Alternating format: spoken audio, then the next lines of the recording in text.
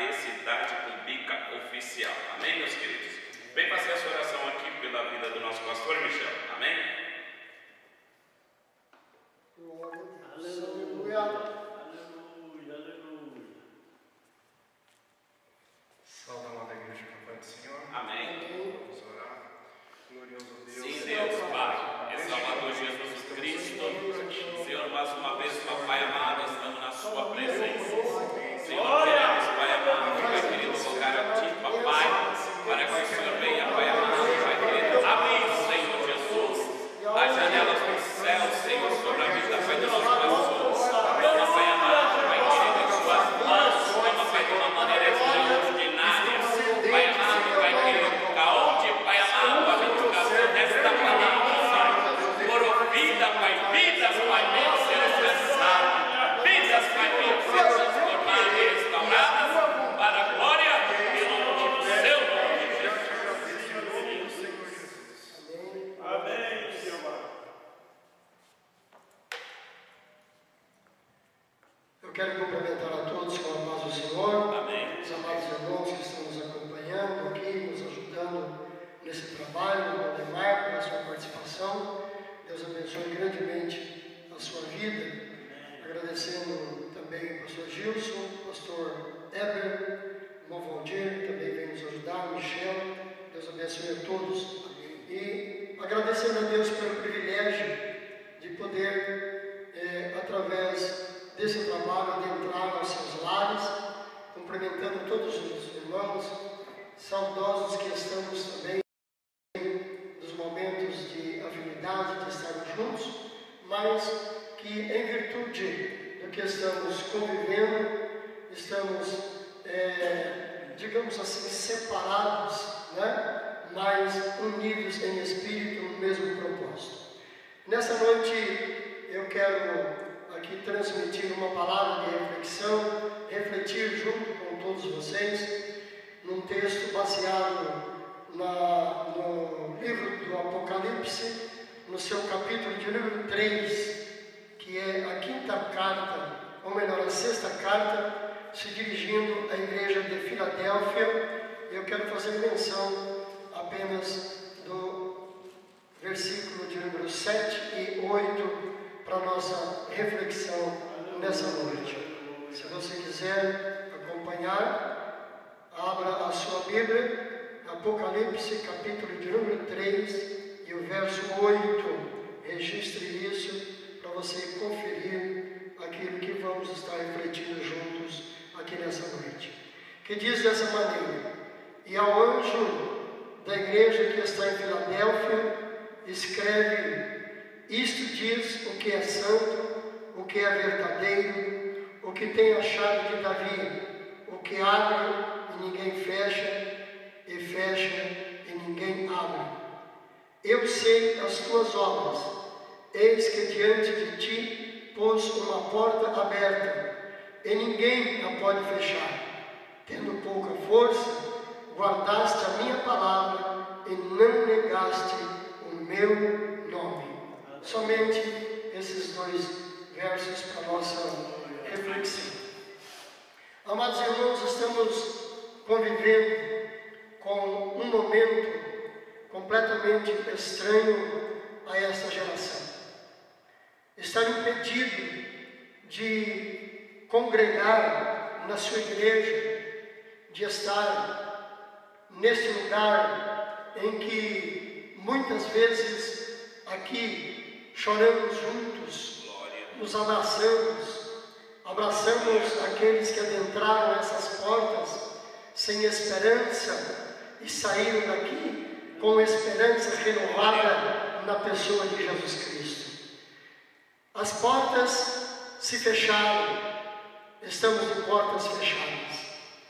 Mas quando pensava isso nessa tarde, o Espírito Santo me levou a essa leitura, porque, embora por força de lei, por força maior, estamos com a igreja de portas fechadas, mas o Senhor falava ao meu coração para transmitir à igreja, porque as cartas, como todos sabem, aqueles que gostam da leitura bíblica, começa dizendo ao anjo da igreja que está em tal lugar.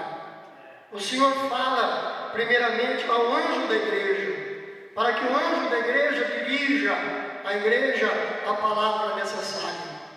E nesta noite, o Senhor me traz aqui para estar trazendo uma palavra de conforto ao teu coração, aos nossos corações, melhor dizendo. A porta da igreja está fechada, mas o Senhor manda dizer que Ele abriu uma porta que ninguém pode fechar. Ele tem aberto porta para nós que ninguém pode fechar.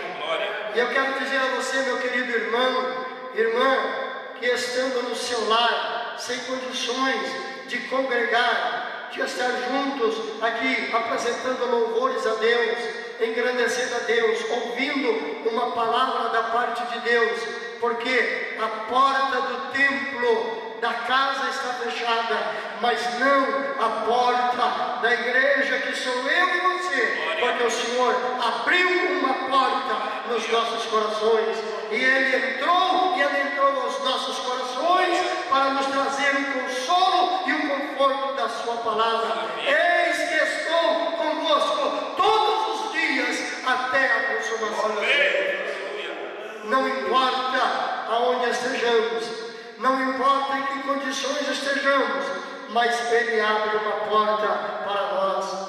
Eu quero dizer nesta noite, como já frisei aqui algumas vezes em outras ocasiões, dando ensinamento, que tem uma porta que Ele abriu para nós e essa ninguém pode fechar.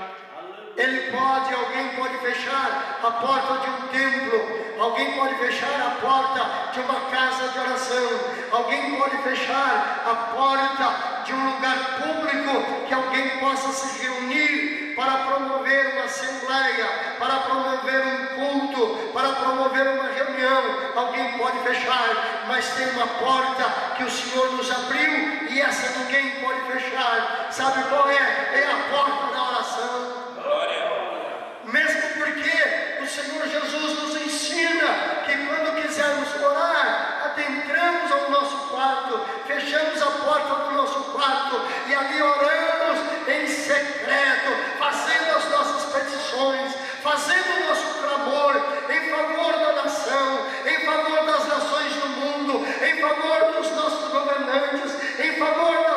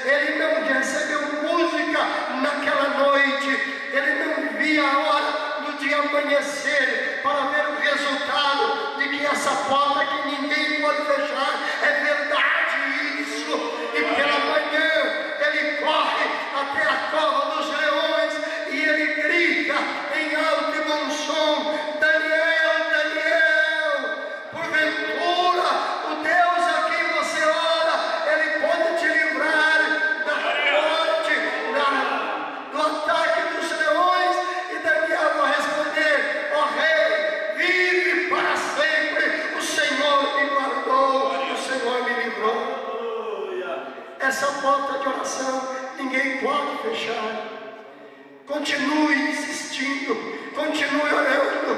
As coisas estão difíceis, estão se pronunciando crises terríveis, desemprego, falta disso, falta daquilo. Mas a porta que está aberta para nós de oração é o nosso canal de comunicação direto com aquele que tudo pode fazer nas nossas vidas. Continue orando, continue insistindo, batendo a porta, porque ela vai se abrir através da tua oração.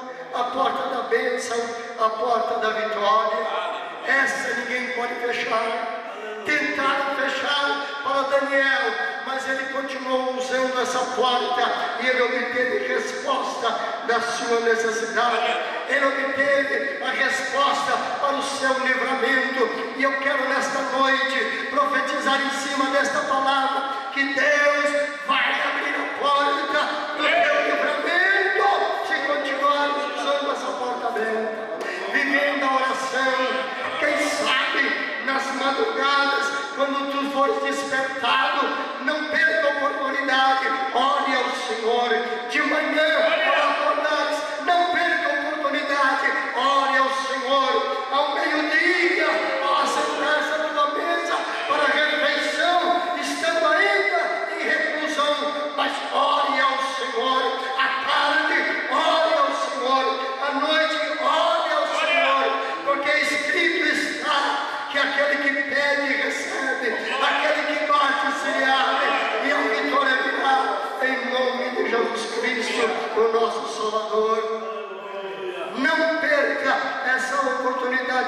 porta aberta. Alguém pode tentar te prender em casa, alguém pode te ameaçar de te prender na rua se tu saíres da rua, mas mesmo assim, orando, orando, orando e vigiando, as portas se abrirão e a bênção virá, e nós cantaremos o hino da vitória. Nós cantaremos o hino da vitória. Como vimos aqui nesta noite, sabe por quê? que nós podemos dizer isso com toda convicção, com toda tranquilidade, porque um dia o nosso Senhor Jesus, Ele carregou aquela cruz no nosso lugar, como cantou o nosso irmão Demar nesta noite,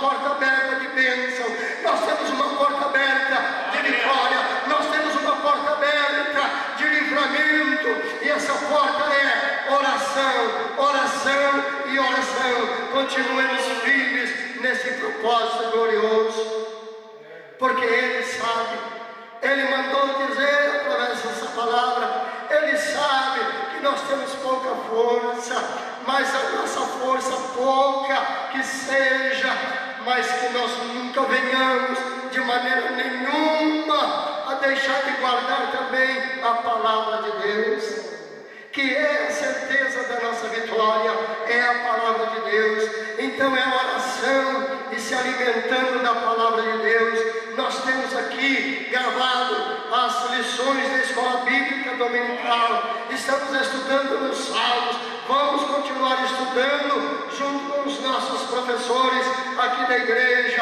aproveitando, levando as nossas lições para frente do nosso aparelho e ali nós íamos acompanhando o comentário da lição, nos edificando na palavra, porque a palavra de Deus é o alimento que sustenta a nossa vida espiritual. Quando nós estivermos com pouquíssima força, mas guardando a palavra do Senhor, nós não vamos jamais negar o nome do Senhor e haveremos de ser mais que vencedores por Cristo Jesus, o nosso Salvador. Amados, não perca essa oportunidade de usar essa porta aberta. Que ninguém pode fechar a porta da oração, a porta da palavra. Você tem nas suas mãos aí o exemplar da palavra de Deus. Aproveite esses dias, aproveite esses momentos, leia a palavra de Deus, comente a palavra de Deus com seus familiares, testifique para a sua parentela a respeito da palavra de Deus. Eu tenho visto algumas coisas nas redes sociais, o que mais mandam são notícias para deixar população preocupada, para deixar a, a população é, desprotegida, ameaçada, insegura, mas nós temos a palavra de Deus que nos garante vitória. É Jesus Cristo é a nossa vitória, Ele é a nossa bandeira de vitória. Essa palavra, não vamos sair desta palavra, oração e palavra, palavra e oração, e nós haveremos de vencer todas as provações em nome de Jesus Cristo. Que Deus nos ajude que Deus nos abençoe, Ele nos guarde e nos ajude a cada dia aproveitarmos essa porta aberta e estarmos buscando a face do Senhor, porque Ele mesmo prometeu, quando Salomão termina a construção do grande templo, e vai consagrar aquele templo, ele mesmo faz essa promessa, ele faz essa promessa, se o meu povo, que se chama pelo meu nome, orar e me buscar e se desviar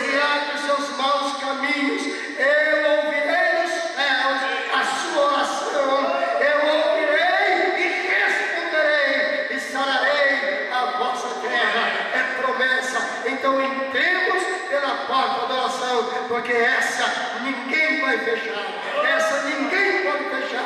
Qualquer um pode adentrar a ela, seja criança, seja adolescente, jovem, o adulto, o idoso, qualquer um pode entrar por essa porta e não precisa ser alguém muito eloquente em oração, render aos pés de Jesus Cristo e pedir a bênção, que certamente o Senhor vai responder a tua, a minha, a nossa oração. Que Deus nos abençoe em o nome de Jesus Cristo. Que Deus possa guardar a tua casa, a tua família, debaixo da sua potente mão, buscando ao Senhor sempre em oração. Amém, queridos? Que Deus nos abençoe em nome de Jesus e até uma próxima oportunidade em nome de Jesus. Amém.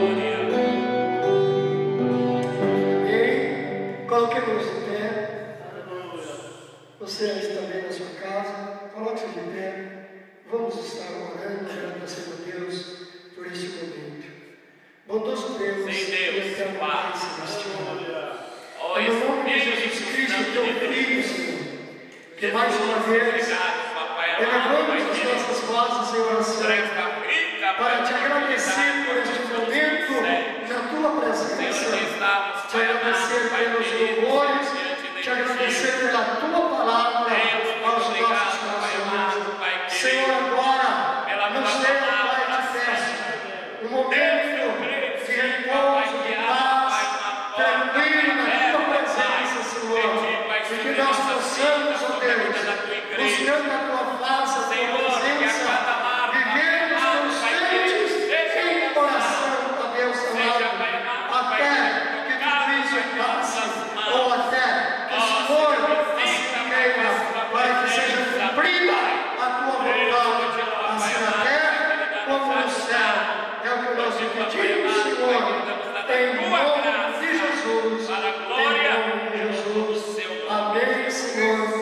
Amém. Que diremos, pois, essas coisas, se Deus é por nós.